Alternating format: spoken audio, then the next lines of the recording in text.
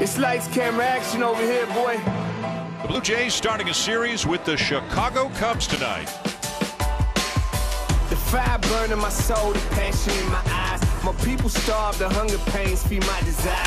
Right at Chapman. How about that recovery? And he throws him out. Here comes Springer on a run on a dive, and he makes another great catch.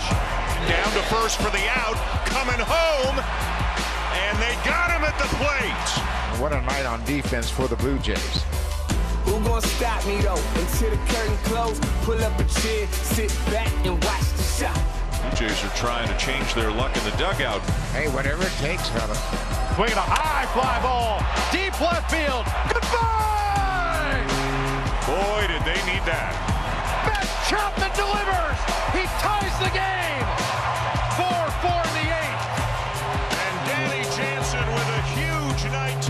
Tonight the Blue Jays walk it off.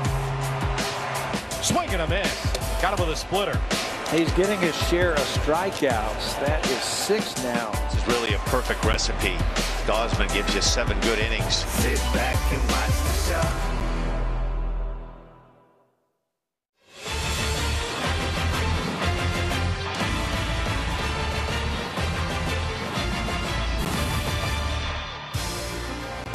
It's back to business. Toronto as the Blue Jays, who are providing you with the ebbs and flows of emotions over the course of a season, clearly are going to face a guy who made a significant contribution to this franchise for several years. Marcus Stroman gets the start for the Chicago Cubs. Teoscar Hernandez back in the lineup for the Blue Jays. Kevin Gausman on the hill for the home side.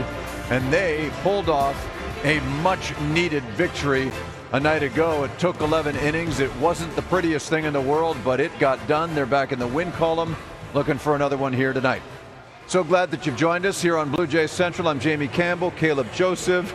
Joe Siddall has removed his shoes. You'll understand a little while uh, here on the program. But first, as you know, if you tuned in last night, the Blue Jays trailed 4 0 going into the seventh inning and they were able to get some heroics from Danny Jansen with a three-run home run that got them back into the ball game. But then this in the 11th as he brings home Matt Chapman, and that wins the ball game for the Blue Jays. It was a joyous occasion, quite obviously, and consider that High leverage OPS is as it sounds. It's late in close situations or any two out scenario with runners in scoring position.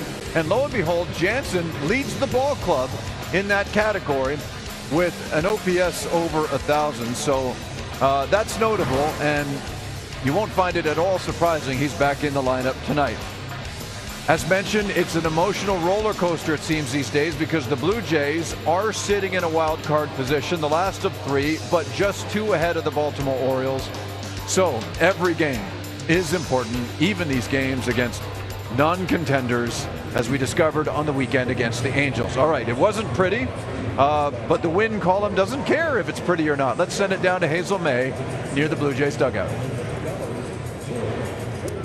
Jamie, last night's comeback victory was the Blue Jays' 31st of the season. That ties them now with the New York Yankees for the most in the American League. And after a tough weekend against the Angels, the opener against the Cubs wasn't exactly a must win game, but you have to think the Blue Jays desperately needed to get off on a positive note in this series. 34 games to go in the regular season, and as you saw, they are right in the middle of a very tight wild card race. Well, last night's hero, Danny Jansen, told me this We're fighting and pulling for each other. We've done this before. It really is one pitch at a time, one at bat at a time, and just continue to fight. Now, this Blue Jays leadership group, which happens to include tonight's starting pitcher, Kevin Gausman, believes that in order to get on a sustained run down the stretch, the veterans in this ball club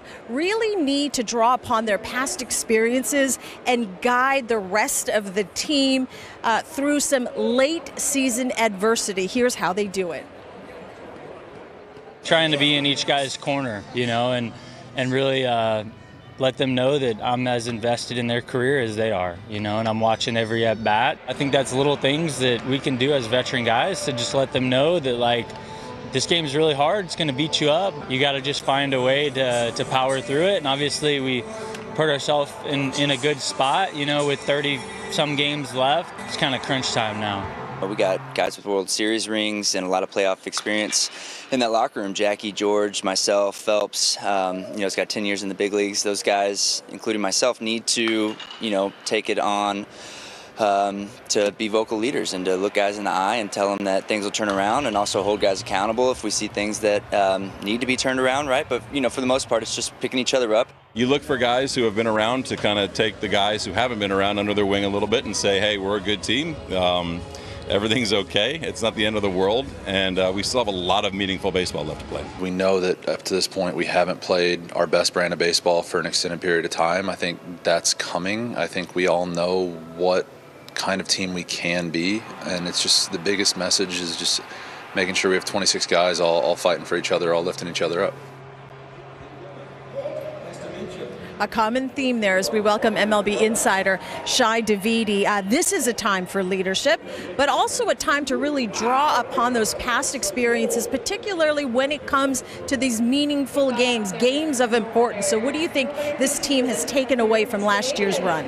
You know, Hazel, even for the non veteran players who don't have a ton of experience, last September was a little bit of a taste of it, but it's different this year. And I was talking to Bo Bichette before the game, it was a really interesting point that he made. It's like, this is different because last year they were chasing, they were in the position that the Orioles, the Twins are in right now. It's maybe a little bit less pressure because they're not being stalked in the same way. Right now, the Blue Jays are, have to fight to maintain their own position. They also have to keep in mind that they're trying to chase down the two teams in front of them. They would obviously rather have home field advantage than not, but none of that ha- can bleed into their process. And you know, he made the point that a lot of other players are making right now. Stay within your focus, focus on the day, don't let anything get too big because that's when things can get out, out of hand. And lurking in the background, of course, is the way the Blue Jays finished last season, falling just a game short. So, how do you think that factors in all this? Well, that's in everybody's mind. And that's a point that interim manager John Schneider made. It's like, look, we got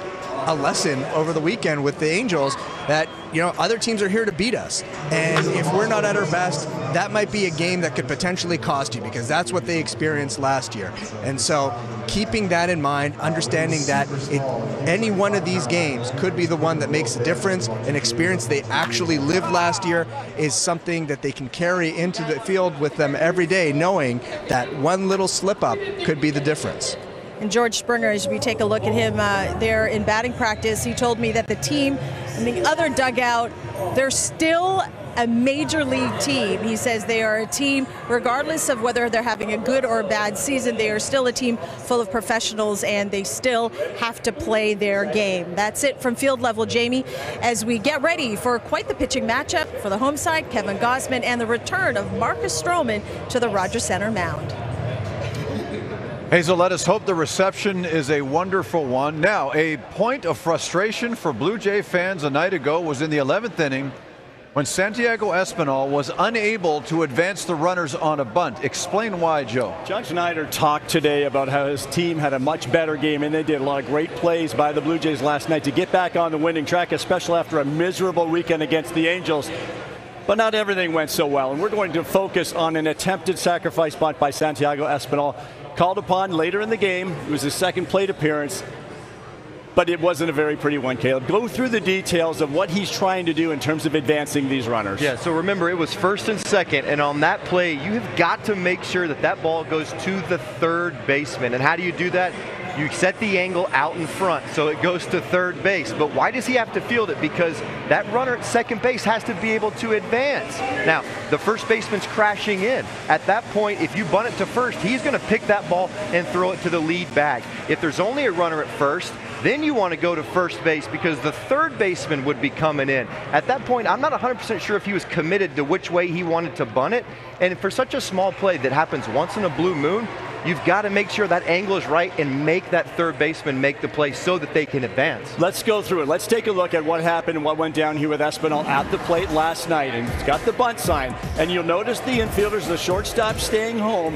You have to get this ball down to the third baseman. And as Caleb said, if the third baseman comes to field the ball, the only play is to first base. The only place to go would have been first base. Sometimes the defense will have the wheel play on. That was not the case. Look at the shortstop. He's right behind second base bag. So if he gets this ball down to the third base side, third baseman fields it, gets the out, the runners are advancing, and then you have Danny Jansen coming up. Now, did Danny Jansen save the day anyway? Absolutely. But these are the critical little parts of the game that can win and lose ball games late, especially when you're getting down to the playoff run. Now, I know back in when I used to have to sacrifice bunt, I used to think stick my nose in there. Like literally, you have to feel like you're on top of the plate and getting that bat out there too. No reason to be back here and off the plate. Move up, get on it. The Cubs knew he was bunting. That you're not trying to surprise anybody. Yeah, you're right. So stick your nose in there and get it down. You're right. Being able to deaden that ball hit it off the end of the bat, allows it to go slower, making the third baseman come in. But it's about setting angles. Set your angle here. If you're going to first, set your angle here. Out in front, just like Joe said, head behind the ball. You, you move up so that you're in fair territory. So, look, real small techniques that usually you learn in little leagues, but hey, sometimes it plays out in a big league game in an extra inning, and it might have cost them a game yesterday. And we may see it again down the stretch. You're hitting the bottom of the order. You have to get those little things done. Jamie Espinal is in the starting lineup tonight. And the hero from last night, Danny Jansen, back behind the dish. Fundamentals, gentlemen, need to be executed if you're uh, going to advance in the postseason. So here is that lineup. As Joe mentioned, the number seven hitter is Santiago Espinal. Straight ahead of him, Teoscar Hernandez, who sat it out last night. His last 15 have not been good. In fact, like he has struck out almost half the time in 54 at bats in about two weeks of play. So we'll see if he can find his offense tonight. Danny Jansen did last night, and he'll be handling the catching duties tonight as Kevin Gausman gets the start against Marcus Stroman and the Chicago Cubs. Stay with us on Blue Jays Central.